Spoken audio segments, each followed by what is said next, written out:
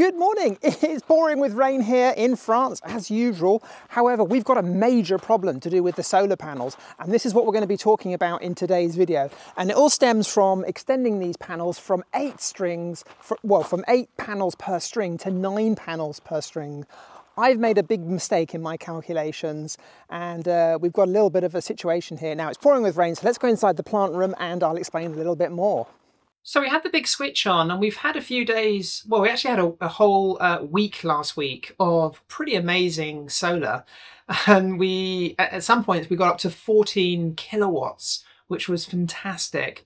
However, I started getting really nervous because I noticed that uh, on the new strings of solar panels, although like normally I would say like day-to-day -day use we were running roughly at around uh, 430 volts 435 volts which is still quite high. And well, let me just backtrack a minute. We're, we're using the Victron charge controllers, and these are the 450 slash 100s. And you can only go up to 450 volts on these charge controllers before they will shut down. And if you continue, you know, going over the 450 volt, it will shut down, and eventually you'll you'll damage the unit.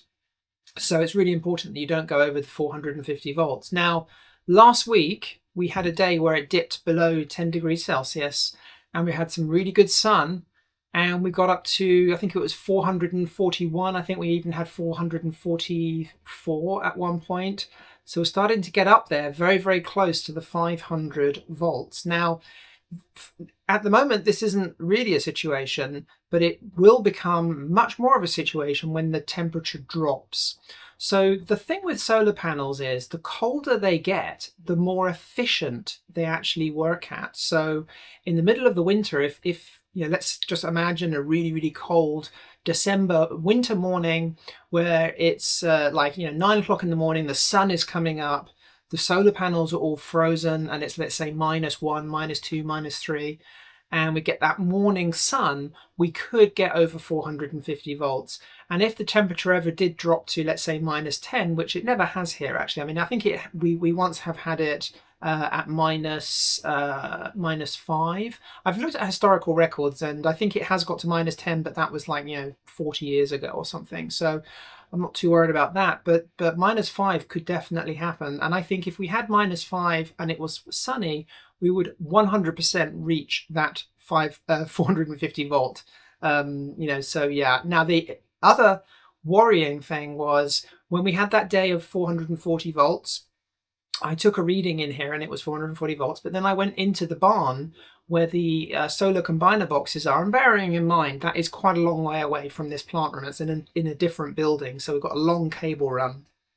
Anyway, in the garage, at the solar combiner boxes, we were actually running at 450 volts right there. Um, and it was only due to the voltage loss from the length of the cable that we were kind of like, okay, so we've got a big problem and uh, I've made a big mistake, which is a real pain. So what we're going to have to do now is we're going to have to go back up on the roof, Jude and I, and we're going to have to take down the um, some of these panels and bring it back down, scale it back down to an eight panel string. Now eight panels, it the, the voltage is still slightly over, but when you factor in the fact that we've got an, uh, roughly around an 80 meter length of cable, so we're going for about 80 meters of cable to get, or maybe it might even be 90 meters of cable to get back to the plant room, we're actually drop the, the voltage is massively dropping off, and we've had those panels at you know with with eight eight panels on the string going for over a year now, and it's been fine. So I think eight panels is really the limit uh, that we can run the system at. So that's going to be the next job. So the next job Jude and I are going to be doing is we're going to be going back up on the roof. And I mean, it's not too much of an issue because we still we still actually have the ladders on the roof. The scaffolding tower is actually all still set up, so it's not too much of an issue. But you know what is the problem? We actually extended the rails out so they would fit nine panels. So it's a case of do I take the panel off and just leave a bit of ugly rail there or do I take the, the, the, solar panel extension rail off? I think we might take the extensions off. Um, but then now we're left with holes in the roof, so oh, so I think we're going to have to work out some way to plug those holes. Um, it's just all a, it's just it's just a mess. It's just so annoying. But you know, this is the, this is the thing with DIY. It's, you know, we're experimenting. We're seeing what work. We're seeing what won't work. We're seeing how far we can push things. So uh, it, you know, it's, it, it's and to be honest, taking those panels off, it's probably like two hours of work. So actually, it's not too bad. Now, here's the thing those panels which come off are not going to waste. We're actually going to put them on the back of the house. So we've actually got six of these new panels. So I actually had an extra three panels in stock already. So we've actually got six of these brand new panels in stock now. So I'm going to create a string of six panels, these new panels, to go on the back of the house. We've removed eight of the old panels uh, off, off the barn. Now we can't put those eight panels on our house because having eight panels um, on you know all, all connected up on um, the back of the house, the voltage will be too high again. Because if we connect the panels literally just above where I'm sitting right now, that's not a 100 meter cable run. We're probably only like 10 meters, maybe 20 meters max. And uh, I've looked at the calculations and everything, and we, we can't do eight panels. But seven panels will be fine. So uh, the old panels, we're going to connect seven of, the, seven of those um, old panels up and put those. So we're going to have one string of seven panels and then a second string of uh, six panels because that's just all I have. It's kind of annoying. I wish I could get an extra panel I'll see what the shipping is. Uh, the solar company, they charge crazy prices for shipping solar panels, but I'll see how much they will charge to ship me one solar panel. But if they're going to charge me like 300 euros to, to, to send me one solar panel, I'm obviously not going to do it. Um, I'll have a word with them, see what they'll do. Um, but it's, uh, you know, I mean, at the end of the day, the thing about solar panels in France is they're, they're like 69 euros each or something. They're not expensive, but the shipping is expensive. So, um, yeah, it, it's it's really expensive. So um, I think we're just going to do one string of seven, one string of six, um, and that will be fine. So that's what we're going to be up to next. The, the We're going to be taking those panels off, and then obviously we've got to reinforce the roof because it's a very, very old roof here. I'm worried about wind loads and the panels lifting bits of the roof off. So we're going to have to work out some way to anchor the roof to the building. Let me know your thoughts on that. Um, so that's going to be kind of like the next job.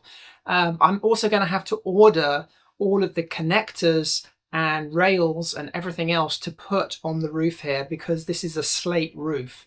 Um, so um, we've never put panels on a slate roof. Luckily, Jude is a roofer by trade, so um, I've got the right person on site to help me with that. So we need special brackets which slot underneath the slates and then bolt into the um, uh, they, they bolt into the into the rafters. Um, but we'll do a little bit of reinforcing, like I said. So luckily we own the house next door as well, which is the guest house. So we're going to put um, the solar panel string probably over the threshold of both houses because I reckon that's the strongest part of the roof because we have a dividing wall between the two houses.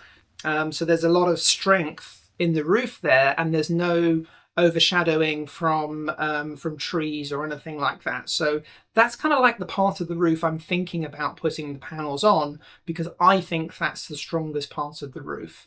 Um, and there's uh, obviously we've got that oak tree there on the left hand side. Um, which is only going to get bigger. So yeah, we might have a bit of shading from that oak tree if we put the panels further to the left.